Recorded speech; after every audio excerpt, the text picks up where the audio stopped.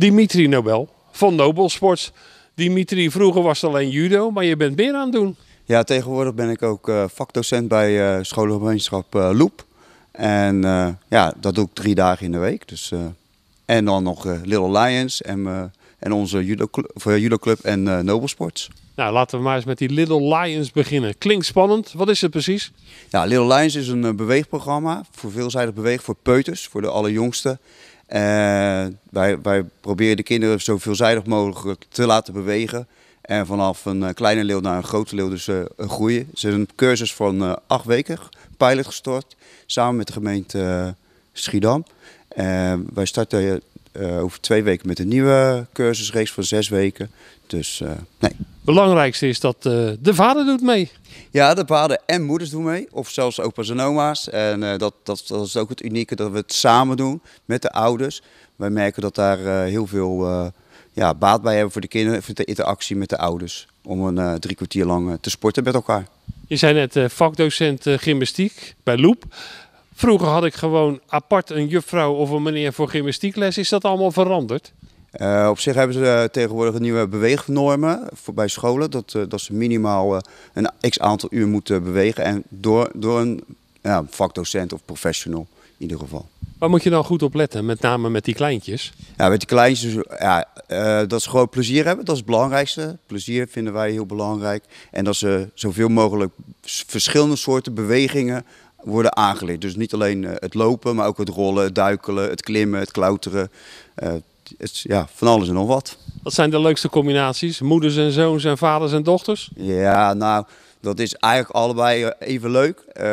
je zal het zien, er zijn heel veel stoeivormen erbij. En uh, ja, de, de, de, het plezier dat ze met, met elkaar hebben, dat is uniek. Lijkt mij ook wel leuk voor de relatie thuis. Want je vader is ineens je sportmaatje of je moeder is ineens een sportmaatje. Hebben de ouders daar, uh, het daarover?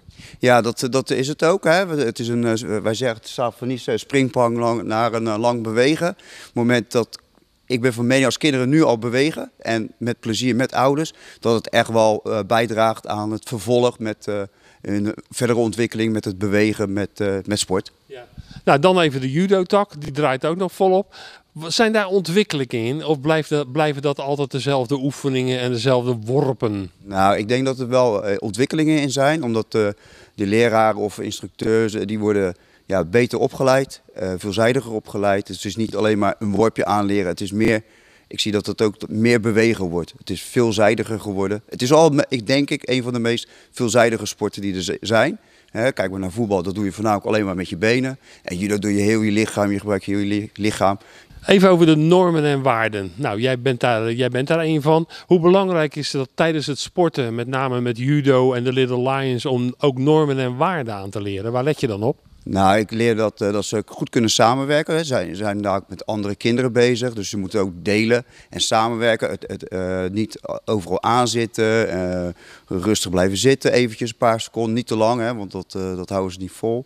En ja, dat, dat zijn normen en waarden, dat je goed luistert naar, naar een instructeur of een, een leraar. Tegenwoordig is het een cliché om te zeggen, ah, ze zitten alleen nog maar op de tablet of op de computer. Kan je dat een beetje ontkennen? Nee, dat kan ik eigenlijk niet ontkennen, want uh, ik heb vanochtend nog even gekeken. Ja, eigenlijk 50% van kinderen tot 12 jaar beweegt te weinig. Dus ja, je kan het ook andersom Er zijn 50% kinderen uh, in de leeftijd van, tot en met 12 die bewegen en de rest beweegt te, te weinig zeker jonge kinderen, die worden neergezet ook in een box. En dat that's it, weet je wel. Het, uh, ze zitten maar, misschien zitten ze in een verkeerde houding. Op school zitten ze veel stil.